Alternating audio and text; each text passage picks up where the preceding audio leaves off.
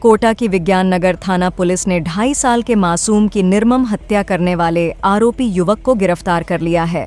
आरोपी मासूम को अपनी दुकान में लेकर गया और मारपीट कर उसकी गला दबाकर हत्या कर दी थी।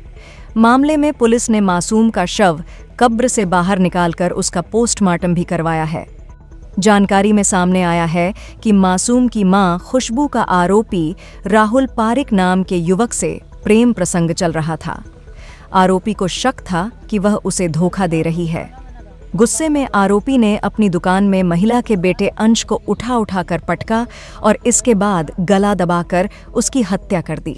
वहीं हफ़्ते भर पहले आरोपी ने मासूम की माँ को हत्या के वीडियो भेजे तो विवाहिता चौंक गई और उसने पूरा मामला अपने पति राकेश मेहरा को बता दिया। वहीं पुलिस मामले की जाँच कर रही है। थाना विज्ञान नगर कोटा में एक प्रकरण दर्ज हुआ है। जिसका नाम खुशबू है, वो महिला है। उसने कहा, मेरे बेटे को 15 अप्रैल को आरोपी राहुल ने हत्या कर दी थी और जेके जेकेएलएन हॉस्पिटल ले जाकर उसको एडमिट करा दिया था।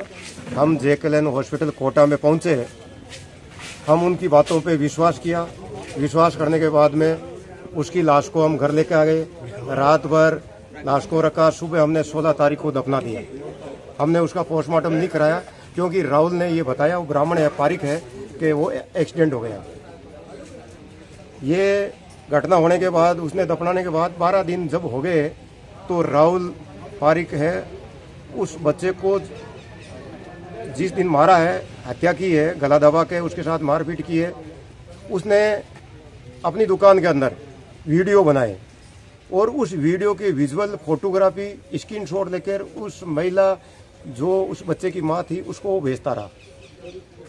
जब उसकी माँ ने देखा कि मेरा बच्चा एक्सीडेंट नहीं हुआ है ये हत्या की गई है तो इस पर कल विज्ञान नगर थाना में कोटा में एक सौ पैंसठ नंबर मुकदमा दर्ज हुआ है।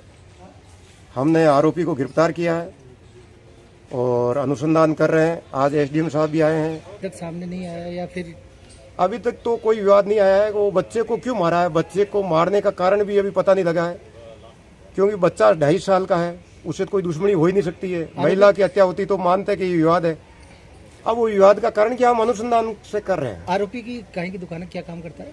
आरोपी के फादर है जो कोई न्यूज़ पत्रिका में कोई नौकरी करते थे। और ये तो बेरोजगार है और बत्तीस तैतीस साल का है और अविवाहित भी है। तो ये जान पहचान कैसे मतलब ये बच्चे को कैसे ले गया था? क्या बोल के ले गया था? घर से राहुल के पिता का क्या ये जो महिला है उसकी अ, खुशबू उसका बेटा है जो वो अस्पताल में दिखाने गई। और उसको कह दिया मैं अस्पताल में दिखाने जा रही हूँ और तू मुझे साथ लेके जा। तो माँ और बेटे और राहुल तीनों स्कूटर से गए हैं। अस्पताल में जाने के बाद में उस बच्चे को उसने राहुल को सौंप दिया और वो अस्पताल में गई। ये अनुसंधान से बताया है। और अस्पताल के बाहर से वो बच्चे को अपहरण करके ले जाके और दुकान के अंदर उसकी हत्या कर दी। डेढ़ डॉक्टरों की टीम भी आई है। हम उसकी कब्र से लाश निकाल रहे हैं। सोलह अप्रैल को जो दफनाई की थी उस लाश का आज हम पुनः निकलवा कर पोस्टमार्टम कराएँगे और हत्या का जो कारण है वो हम लेंगे एफएसएल भेजेंगे डीएनए परीक्षण भी कराएँगे और अनुसंधान करेंगे। आरोपी क्या क्या कुछ तरह का कोई साइको है क्या है? कौन है आरोपी? आरोपी ब्राह्मण है इसका नाम राहुल पारिक है उसका प्रथम दृष्टिया ऐसे लगता है कि वो मेंटली साइको टाइप होगा। हालाँकि मुझे लगता नहीं है साइको है। वैसे बातचीत में तो सही लग रहा है क्योंकि खुद ने मारा है खुद ने वीडियो बनाया है खुद वीडियो के विजुअल भेज रहा है महिला के साथ। इनका आपस में क्या संबंध रहा सर महिला का इनकी कोई एक प्रोग्राम में ये मिले थे करीब जनवरी के महीने में बता रहे हैं।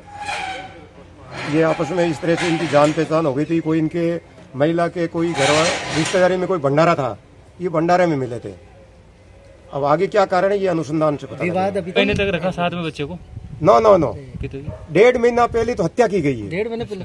लेकिन इनकी पिछले छह महीने से जनवरी से इनकी जान पहचान सर राहुल के पिताजी का क्या नाम है? शायद जान तक है रमेश चंद्र जी। चक्का रहते वो एड्रेस है कोटा तो मैं तो नया हूँ नाम पड़ा था। जी जी जी। ठीक है सर। हाड़ोती की खबरों से हर समय अपडेट रहने के लिए यूट्यूब पर सब्सक्राइब करें, हाड़ोती न्यूज़ और प्रेस करें बेल आइकन को।